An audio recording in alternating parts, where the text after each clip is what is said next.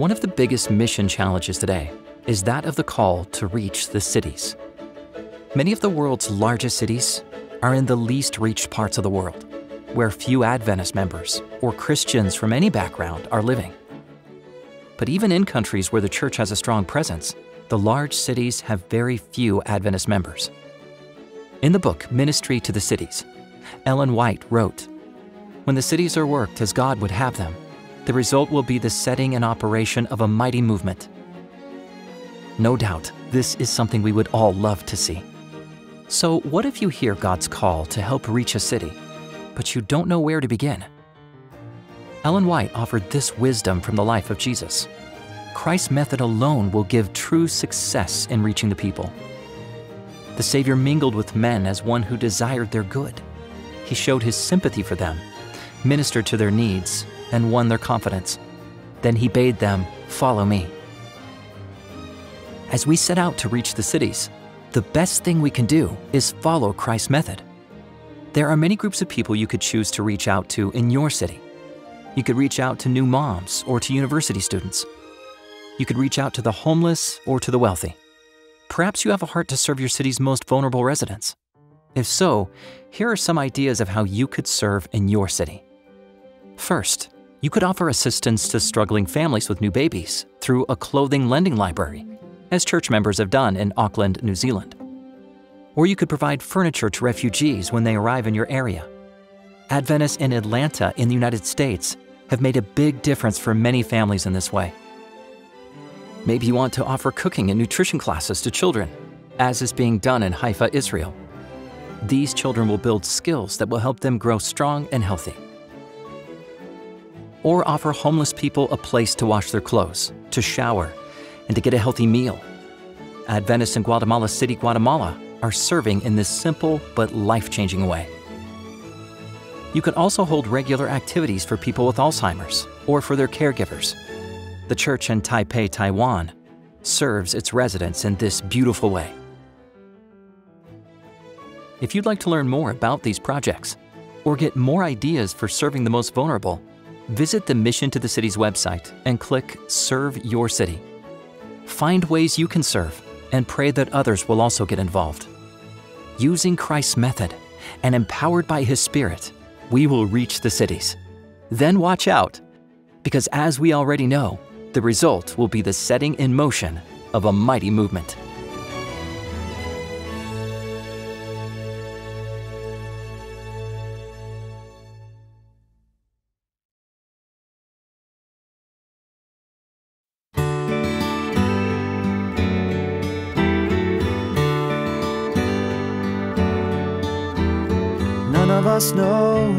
Makes it a mystery. If life is a comedy, then why all the tragedy? Three and a half pounds of brain try to figure out what this world is all about, and is there an eternity? Is there an eternity?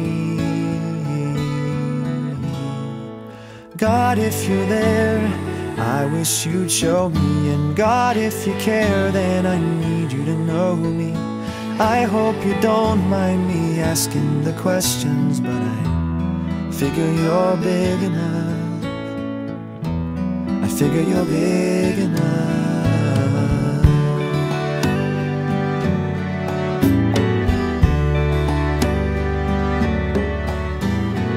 Lying on pillows, we're haunted and half awake. Does anyone hear us pray? If I die before I wake, then the morning comes and the mirror's another place where we wrestle face to face with the image of deity. The image of deity. God, if you're there, I wish you'd show me. And God, if you care, then I need you to know me. I hope you don't mind me asking the questions, but I figure you're big enough. I figure you're big enough. When I imagine the size of the universe, and I wonder what's out past the edges. I discover inside me space is big and believe that I'm meant to be filled up with more than just questions. So, God, if you're there, I wish you'd show me. And God, if you care, then I need you to know me. I hope you don't mind me asking the questions, but I figure you're big enough. Figure you're big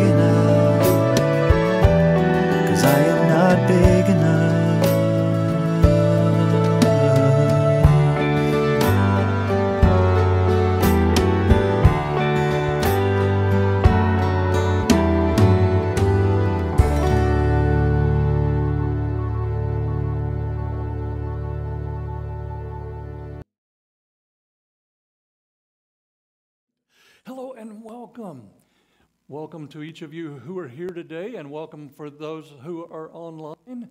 And uh, glad to have you joining us today. I want to start off this morning talking to the boys and girls. Uh, at my house that I moved into about five years ago, it goes down the hill into the woods. And in the woods, there are a lot of animals living there. Do you have any animals living in your house or near your house? If they're in your house, I hope they're your pets. If they're not your pets, I hope they live outside your house. Behind my house, I have a family of four squirrels that live there. And those four squirrels, they run around and, and, and, and they, they have a lot of fun back there. Uh, my my uh, father in law, um, he puts out breadcrumbs for those squirrels, and so they come every day to check and see what he puts out for them. We also have a family that lives behind our house, a family of deers that live there. In fact, many times there's four deer, the same number again. Uh, in fact, several years ago, then I walked down and right at the edge of my yard where it goes into the woods, it's a little bit marshy and there's this marshy grass that grows. Nate, did we figure out how to put that picture on the screen? We didn't? Oh, you're going to have to come up, boys and girls, and I'm going to have to show you that picture later. I walked back there. I had picked up one of these, these uh, round cement blocks. I don't know what it was for. We use it to put a plant, a potted plant on.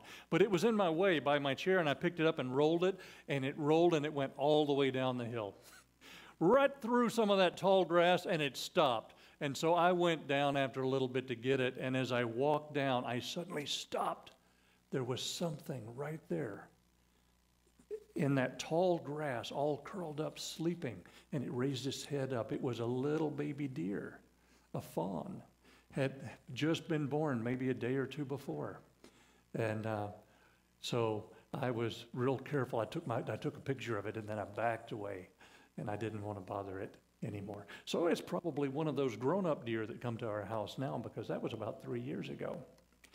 But in our backyard, in our woods, I've seen a raccoon, I've seen a woodchuck, and one night, several years ago, Sherry and I woke up. We heard a sound that we didn't know what it was. At first, we thought, oh no, is there a little boy or a little girl lost in the woods behind our house crying? Or maybe it's a lady that's been hurt. Here's what we heard because I got up and went on the internet hunting, and this is what I heard. Do you know what this noise is? Let's see if it'll pick up.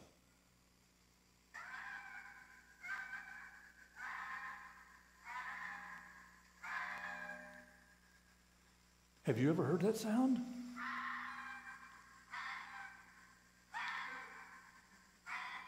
All right, let's see if I can make that stop. Oh, we were worried. Do you know what it was, Perry? Do you have any idea? He's wondering if it was a screech owl. That would have been a good guess. Anybody thinks they know? Any boys and girls? It just kept going and going and going. And then I thought, I wonder if it's an animal that I saw about a year ago. and I had never seen one in the wild before. But I saw one here after we moved to Maryland, an animal that I had never seen in the wild till I came here. But I went online and I found out this animal, Chuck, lives all over. It lives in Oregon where I used to live, but I never saw it there. It lived in Louisiana where I grew up, but I never saw it there. I'll give you a hint. It's got a bushy tail and it's red. It was a red fox. You knew that, didn't you? You figured it out. Well, I'm going to play a game with you right now. Let's see if I can get this on. I want you to raise your hands if you can tell me what this animal sound is.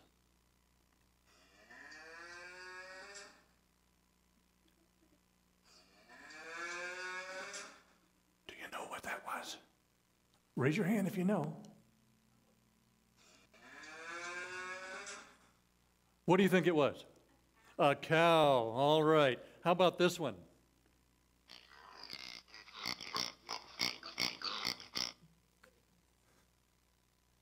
What was it, Logan? A pig. You are right. That was a pig. Oh, here's one. Oh, I think this will be easy. How many know that one? All right. Lots of hands going up. They knew that one. That, that was a sheep, wasn't it? No. that wasn't a sheep. Well, what was this one? That one was a sheep. All right. Okay. Here's one that my daughter hears at her house in the wild. In fact, one of them got in her garage and the door got closed. It was a baby and they caught it and they raised it up. See if you can tell me what, what this one is.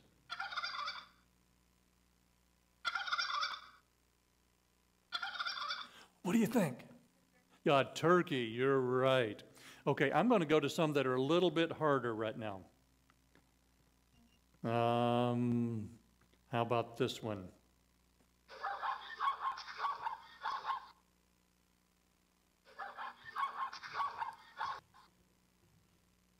You know, I wouldn't know this one at all, except that I heard that sound on a movie with this animal in it.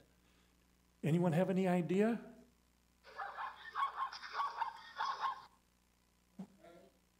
A coyote?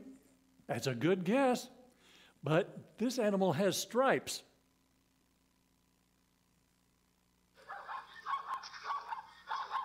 What do you think? Logan, your hand's up again.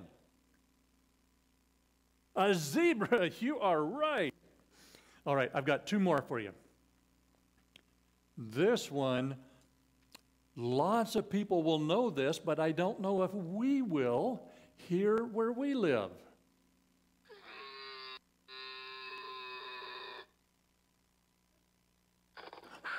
Oh no, I hit the wrong button. Let's go back.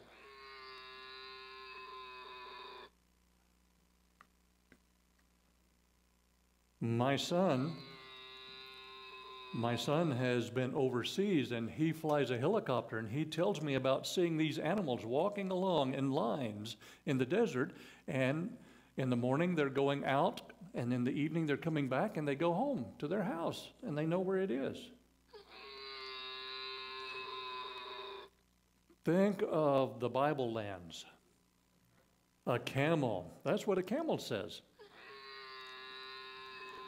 All right. Now, here's one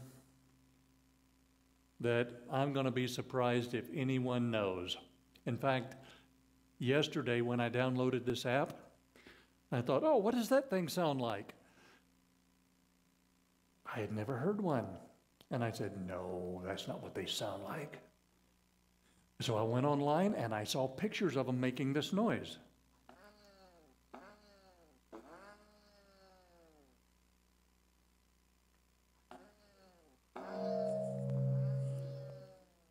Wasn't all of that noise.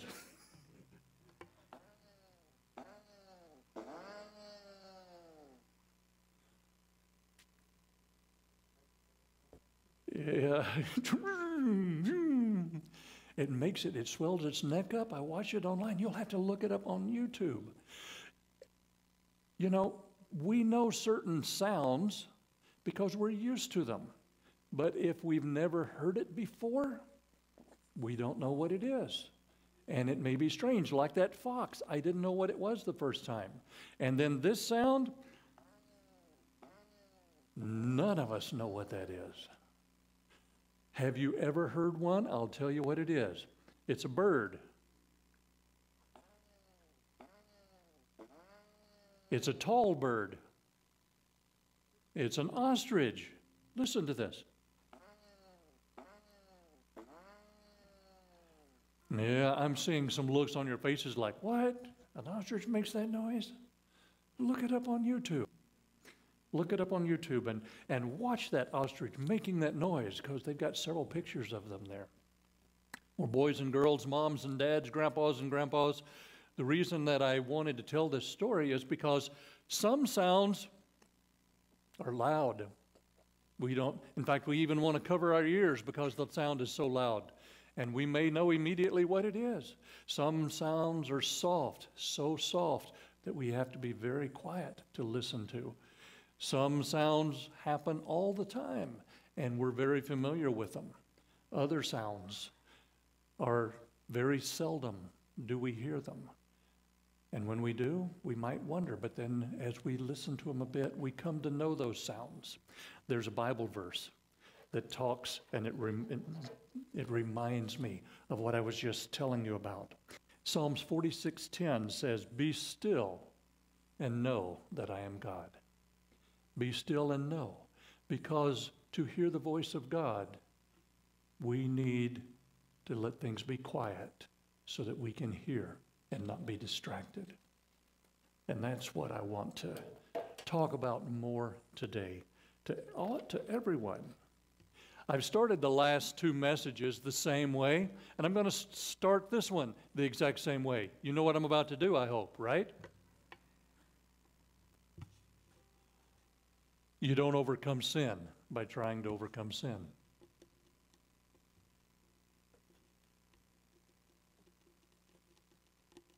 You overcome sin by getting to know Jesus.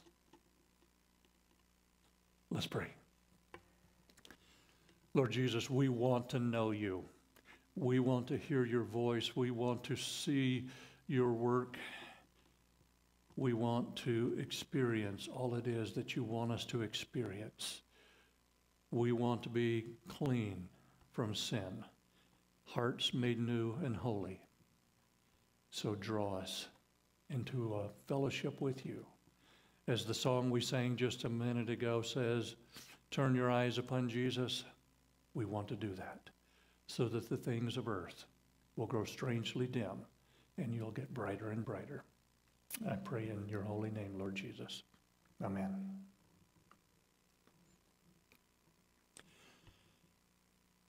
Do you see the title of the message on the screen today? That is not a misspelling.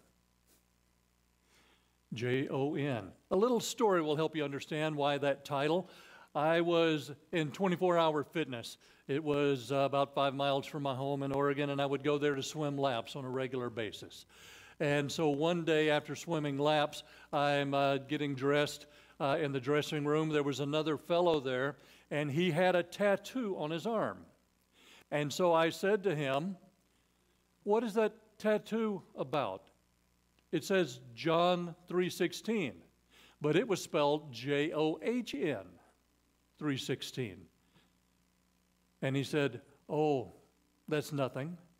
I said, Well, it, it was something at one time. You had it put on your arm. Well, I don't remember. And I said, Well, you remembered one time it was important enough to put it on your arm. Well, it just means that everyone's going to be saved. And I said, You are right. Everyone who puts their trust in Jesus is going to be saved. And he said, Well, I'm not a preacher. I just, I just had him put it on my arm.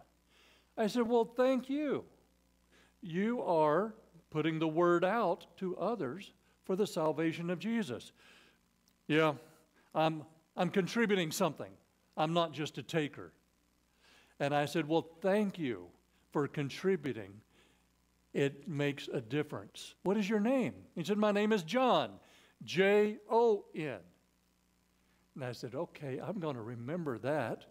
J O N 316. Thank you, John, for doing your part in reminding me about Jesus and his salvation. We talked a few more minutes about a few other things as we tied our shoes. We started to walk out the door.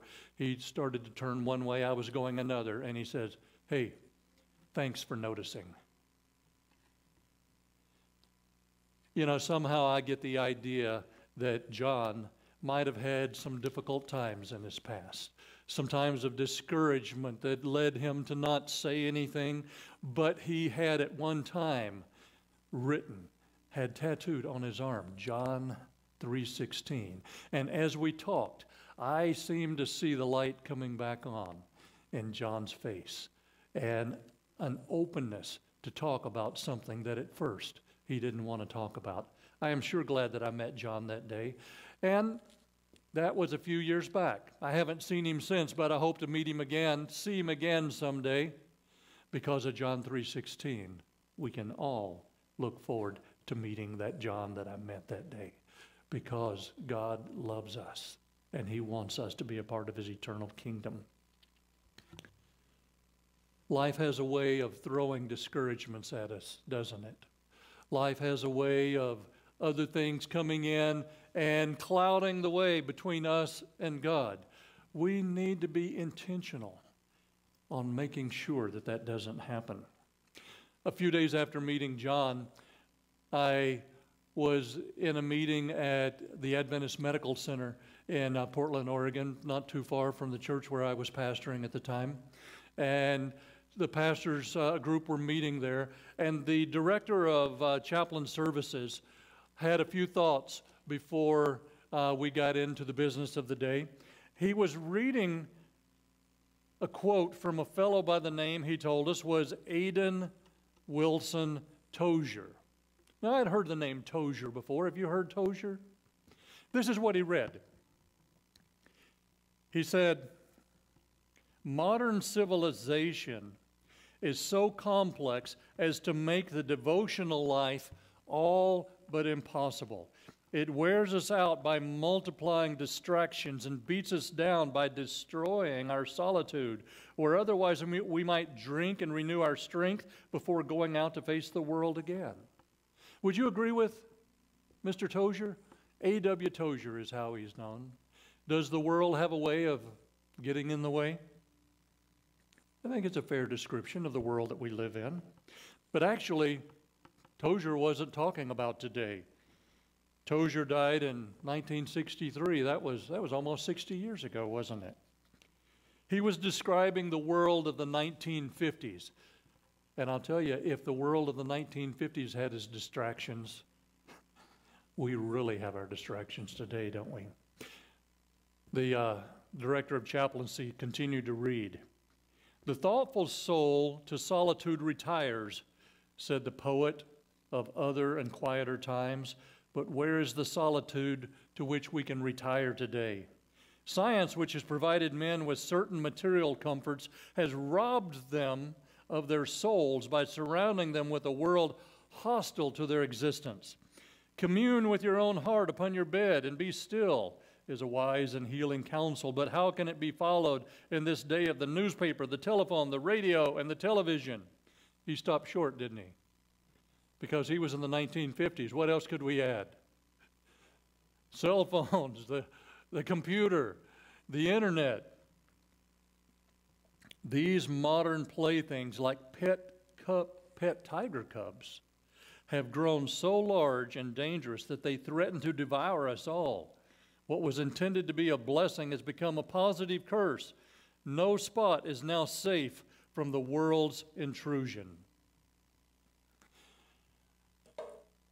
about a week ago, I, I woke up and I was tired. I didn't want to get out of bed because that night I kept waking up and I would just lay there hoping to go back to sleep. And after a little while, I guess I would drift off to sleep because a little bit later I would wake up and I would just lay there.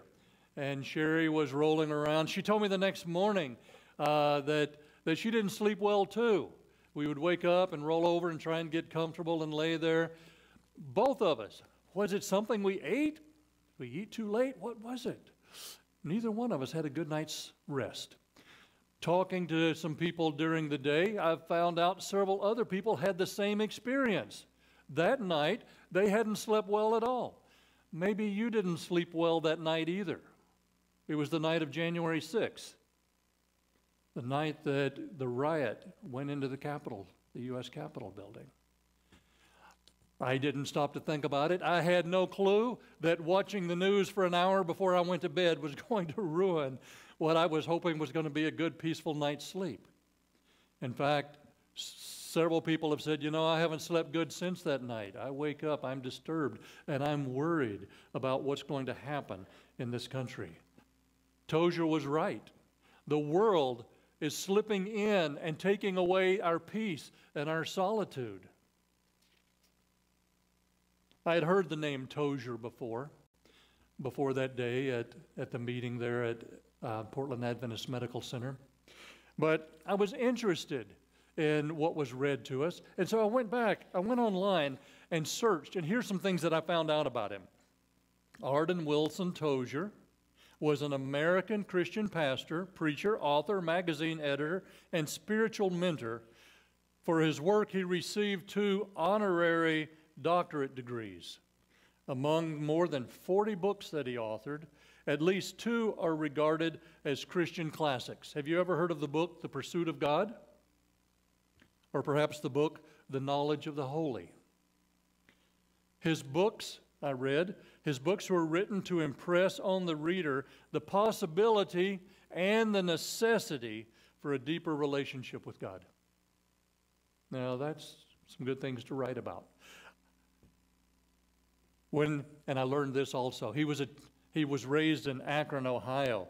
And while he was on his way home from work as a teenager one day, uh, at a tire factory where he worked, he heard a street preacher. He stopped and he listened. And the preacher said, If you don't know how to be saved, just call on God.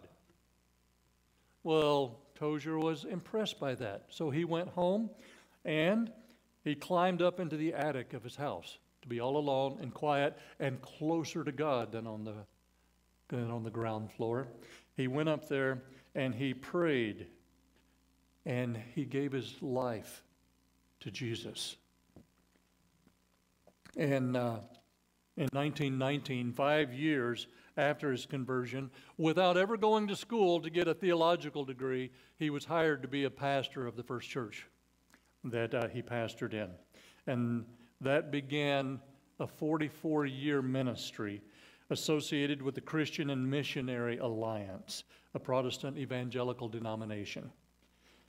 In 1950, he was elected as editor of the Alliance Weekly, which is the official publication of the church he was a part of, the Christian Missionary Alliance.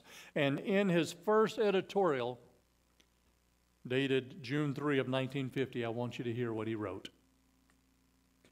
It will cost something to walk slow in the parade of the ages, while excited men of time rush about confusing motion with progress, but it will pay in the long run. Slow down. Slow down is the context. Be still and know that I am God. That was his focus, and that's what he wrote books about. These words spoke to my heart. I was impressed with these few thoughts that I read, and so I, I did a search and I found out the book, The Pursuit of God. I could download it, a free download, and I downloaded it and I read half that book that day. It was good. I encourage the writings of A.W. Tozer to any of you.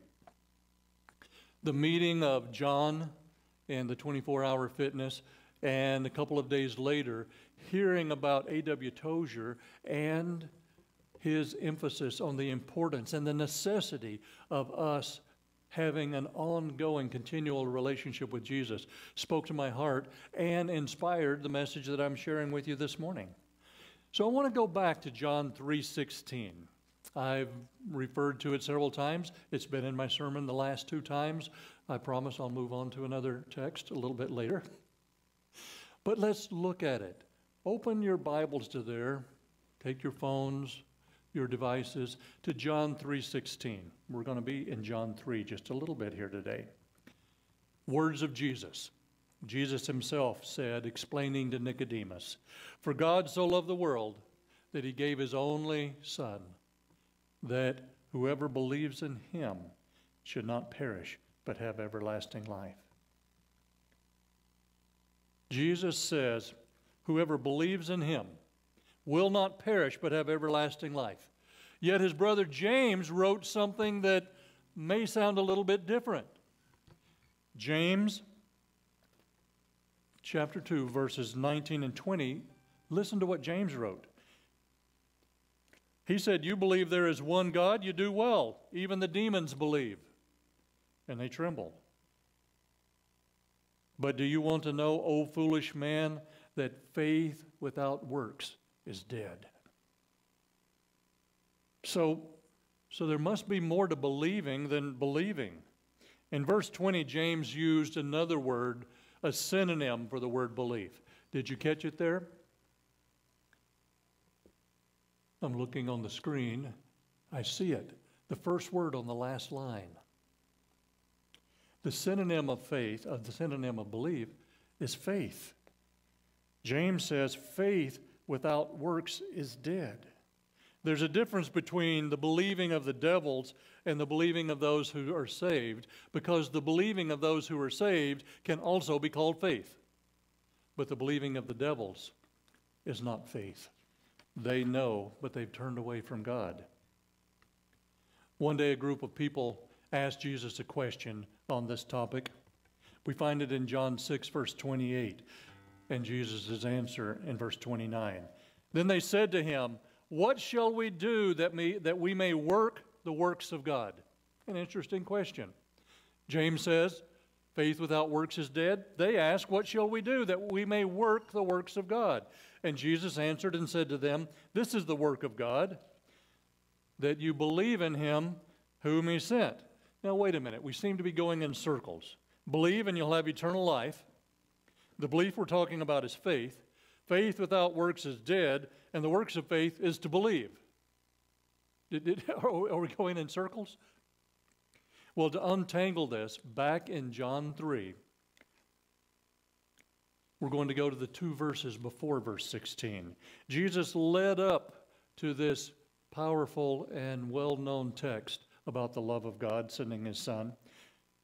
Jesus led up to it talking to Nicodemus, and he referred to something that Nicodemus knew about. He referred to something that happened after God, through Moses, had led the Israelites away from slavery in Egypt. They were still in the wilderness, and it was not an easy place to live. And they had started grumbling and complaining, and they were upset. And they even said, We don't like the manna that God's giving us. We like the food we had in Egypt better. Why didn't you, why didn't you leave us there? These ungrateful people. Well, while they're complaining and while they're grumbling,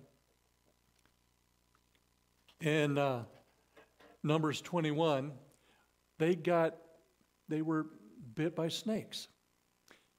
Now, John 3 14 and 15, this is what Jesus said to Nicodemus.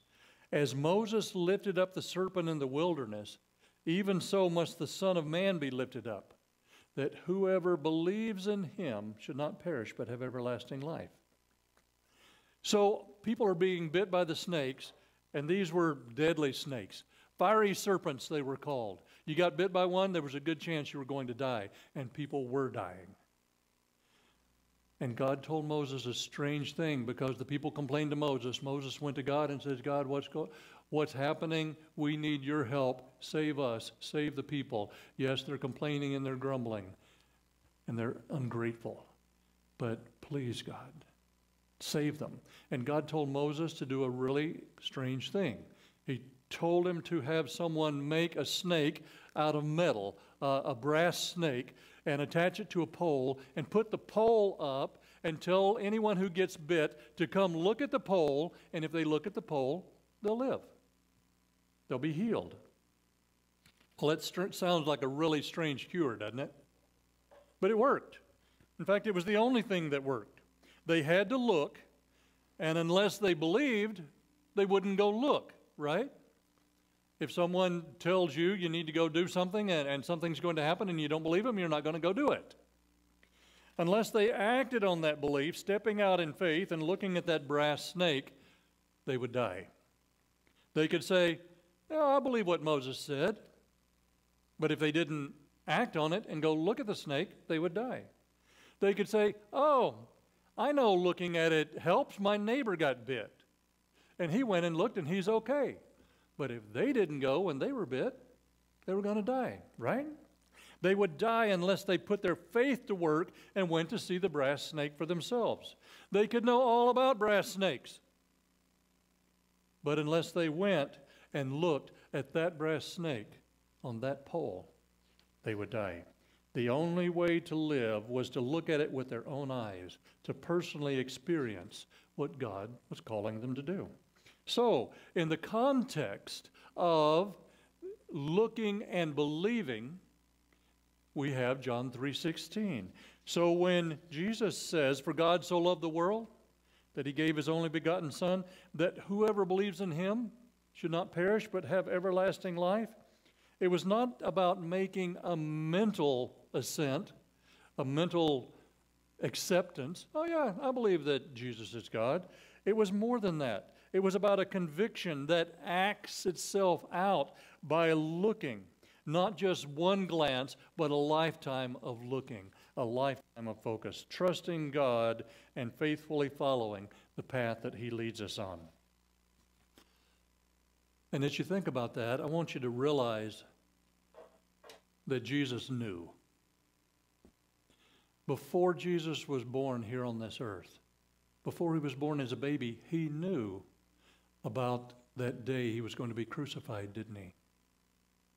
That snake in the wilderness represented him on the cross. I've got a message, then we're going to explore and dig into that one more in, on another day. Jesus knew, but he came anyway. In fact, that's why he came. He came to suffer, and he came to die, crucified on the cross. Two weeks ago, I shared uh, that one day as I was reading about the crucifixion of Jesus and visualizing, that suddenly, as I looked around, I discovered the Holy Spirit right there at the cross.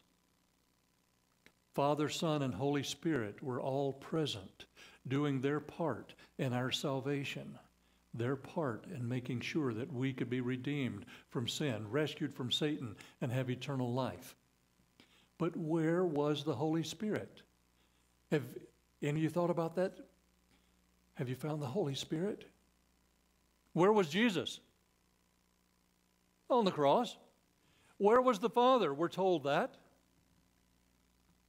Hidden in the darkness of the clouds, allowing the separation of righteousness and sin to take place that ultimately caused Jesus to die. But where was the Holy Spirit? Well, I have a story for you in John, not John, Matthew. In Matthew, that is going to lead into the answer of where the Holy Spirit was. In Matthew, one day Jesus asked the disciples a question.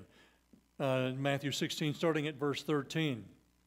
He asked his disciples, Who do men say that I, the Son of Man, am? So they said, Well, some say John the Baptist some Elijah, others Jeremiah or one of the other prophets. Some prophet from the past has come back. Uh, they have different ideas. So he said to them, Who do you say that I am? And Simon Peter answered and said, You are the Christ, the Son of the living God. You're the Christ, the Son of the living God. Peter spoke up, quick to speak up, one of the first. I like that about him. Now, this is what I want you to pay close attention to. It's verse 17. Jesus answered and said unto him, Blessed are you, Simon Barjona, for flesh and blood has not revealed this to you, but my Father who is in heaven. What did Jesus say? Peter? Yes, that's the right answer. You have it right. Jesus was the Christ, He was the promised Redeemer. But Jesus said, Flesh and blood didn't reveal this to you. In other words, you didn't figure this out on your own. It takes more than just our own mental abilities to figure out and understand who Jesus is. God had opened Peter's eyes, we might say, to this reality. It was a spiritual thing, understood. Paul talks about this spiritual understanding in 1 Corinthians. Listen to what he says in verse 13 and 14 of chapter 2. These things we also speak, not in words which man's wisdom teaches, but which the Holy Spirit teaches, comparing spiritual things with spiritual. But the natural man does not receive the things of the Spirit of God, for they are foolishness to him, nor can he know them because they are spiritually discerned. So, spiritual things are spiritually understood. Is that what we just read? And it's the Holy Spirit that gives us spiritual insight and understanding of those spiritual things. So, at the cross, there was someone else who said what Peter had said in answer to, to Jesus' question Who do you say that I am? At the cross, someone said who Jesus was. Do you remember who it was? There was a thief that recognized Jesus and said, Remember me when you come in your kingdom. And Jesus said, I promise you today, you will be with me in paradise. I love that. I love that. All it takes is calling upon Jesus, and we're saved. There was someone else. Listen to this from Mark 15, verse 39. One other person.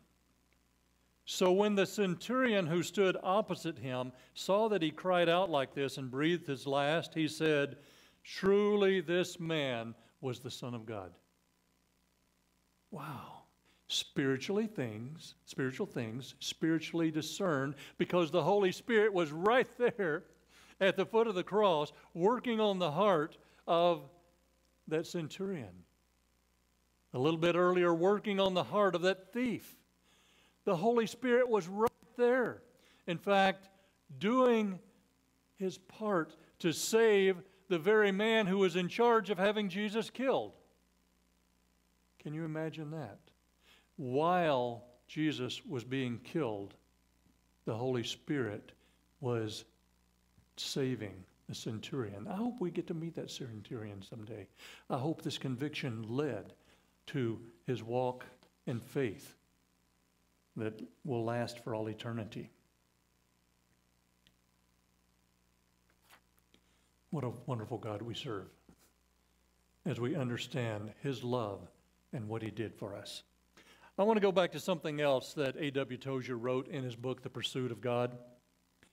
Listen to this. I'm going to ask you if you followed it. The doctrine of justification by faith, a biblical truth, has in our time fallen into evil company and been interpreted by many in such a manner as to actually bar men from the knowledge of God. Did you follow that? What he's saying is the way that many are taught the good news of salvation and how to be saved is actually getting in the way of getting to know God. How? Because they're taught that we're saved simply by saying, I believe. Yet within their hearts, there's no special love for Jesus, no hunger or thirst for God. I remember a number of years ago, um, a lady came to the uh, church office where I was there in Oregon, and she said, Pastor, will you baptize me? And I said, That's a wonderful way to start a conversation. Tell me, what's on your heart? And she said, My, my mom died a couple of months ago. And I promised her before she died that I would be baptized. Will you baptize me? And I said, I look forward to that day happening. Can we set up some times to talk together? About what? Well, tell me about Jesus. Well, I don't really know anything about the Bible. I just want to be baptized. I promised my mom I would be baptized. Well, what does baptism mean to you? Well, it, it means I kept my promise to my mom, and it means that, that, uh, that I'll, I'll be in heaven with her. That's what she told me. And I said, as we trust in God, as we come to know Him, that is true. Can we set up a time that we can talk together? And she said, I just want to be baptized. And I said, Well, let's make an appointment so that we can explore and help you grow in your understanding because I think mom wanted you to have everything that's involved with that. A few weeks later, I was in pastoral and meetings of pastors in the area, and one of them said, Hey, I had a great experience uh, last week. A lady came to me during the week and asked me, Would I baptize her? And I said, Absolutely. So I baptized her last Sunday. I said, Oh, was her name? And he said, Yeah, that's who it was. And in fact, he didn't say last Sunday. He said it was several weeks before that he did because I said, Have you seen her since? And he said, No, I haven't seen her since. God wants more than just for us to get wet being baptized. God wants more than us just to say, Oh, I believe, I'm busy, I've got other things to do. God wants more. God wants a relationship with us. Many of us, maybe even us, have been lulled into the dangerous thinking that if we have accepted Jesus as our Savior, we no longer need to seek Him. When in reality, seeking Him is something we must never stop doing.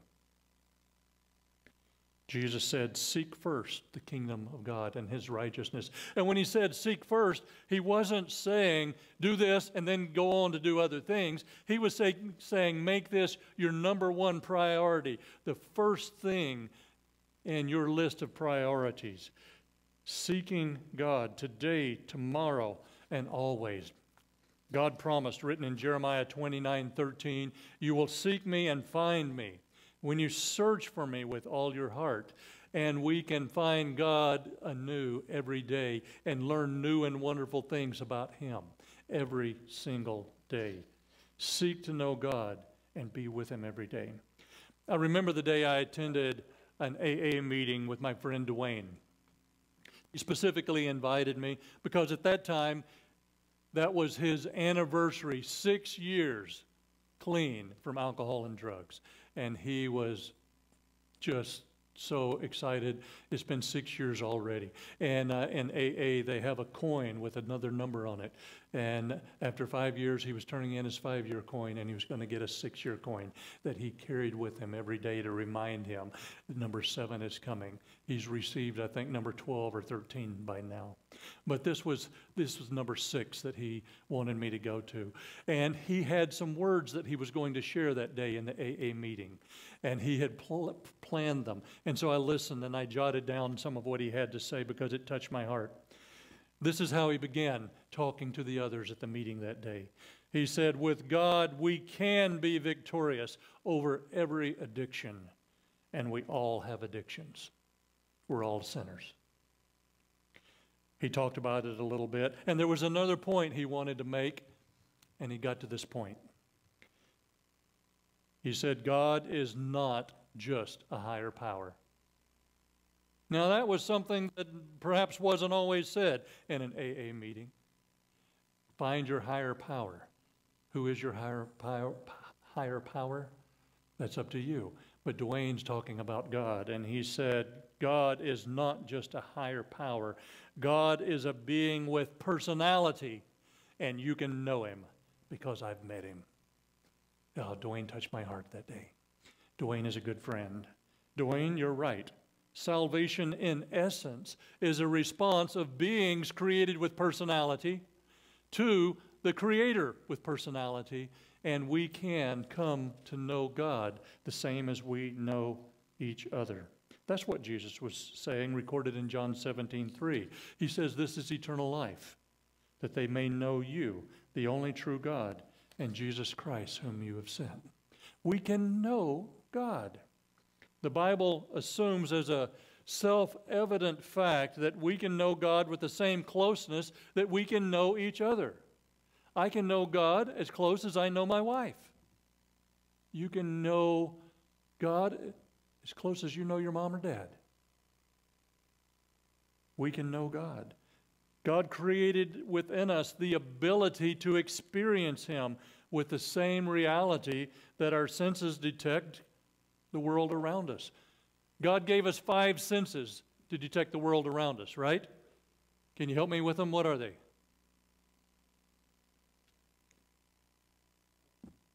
Touch, taste, sound, hearing. We've practiced that today. Smell. We, I left off one. Sight. There we go. God gave us these senses, and through these senses, we detect the world around us. I'm here to tell you, God also created within us the ability to, to, to, detect and to know and experience the presence of the spiritual. He gave us spiritual faculties through which we can know God, through which we can hear His voice, through which we can see His hand at work. It's there within us. God calls us to be still and to know that I am God. When we commit our time and ourselves to God, committed to following His holy word, a new set of eyes, you might say, a, spirit, a set of spiritual eyes are given to us that we can open our eyes and we can see and we can understand the Spirit and see God. For God so loved the world, he gave his only begotten Son, that whoever believes in him should not perish but have everlasting life.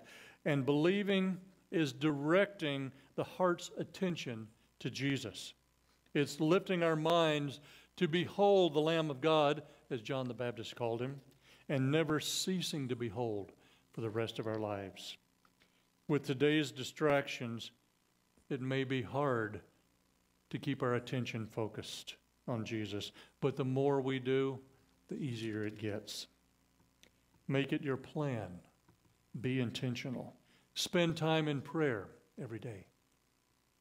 Open your Bibles and read in your Bibles every day and listen to God speaking to your hearts. That's what Jesus was explaining that day when he said, Those who believe will have eternal life. Because with Jesus, belief wasn't just a passive word, belief is an action word. I want to end with one last quote from A.W. Tozer. I like this one. When we lift our inward eyes to gaze upon God, we're sure to meet friendly eyes gazing back at us. For it is written that the eyes of the Lord run to and fro throughout the earth. God is with us. He sees us. We can see him, for he will reveal himself to us. Chuck, will you lead us in one more song?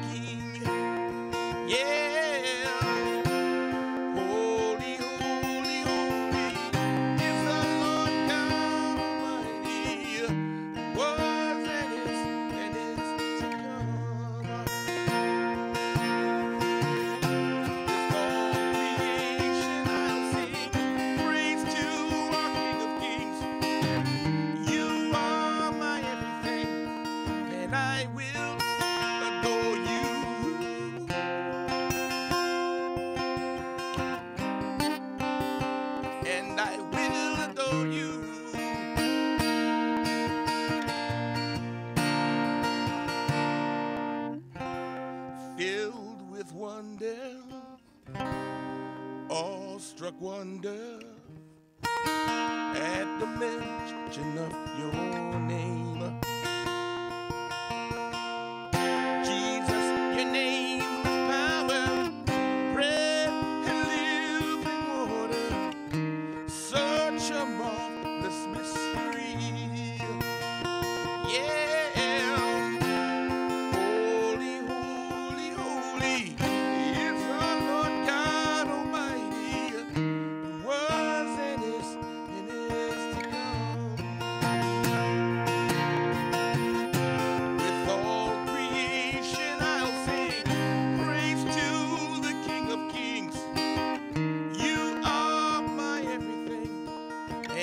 and